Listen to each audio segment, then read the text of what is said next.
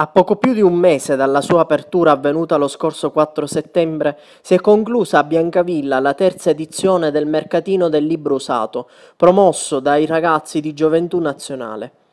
Una macchina ben rodata che da anni riesce a dare risposte concrete alle difficoltà legate alla crisi economica delle famiglie. Ma sentiamo direttamente dai giovani organizzatori del mercatino come hanno gestito l'iniziativa e quale il bilancio conclusivo.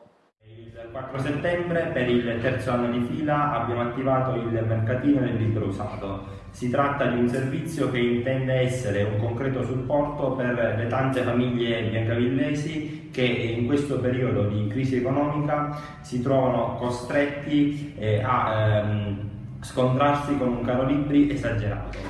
Si tratta di un'iniziativa che ha offerto a tutte le famiglie di Biancavilla e dei paesi limitrofi la possibilità di poter acquistare i libri usati a metà prezzo. Come possiamo vedere dal bilancio di chiusura, quest'anno siamo riusciti a vendere più di 700 libri e ad avere un risparmio complessivo di circa 5.000 euro.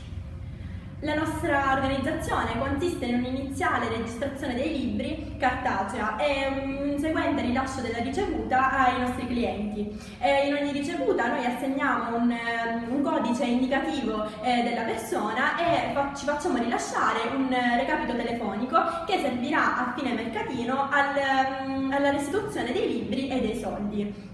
E in seguito alla ricevuta cartacea eh, prose- cioè proseguiamo con una registrazione eh, multimediale eh, che ci agevola nel, nella ricerca dei libri nel momento in cui, ehm, abbiamo, cioè nel momento in cui i clienti vengono a richiederceli. Gli organizzatori sin da oggi danno l'appuntamento al prossimo anno.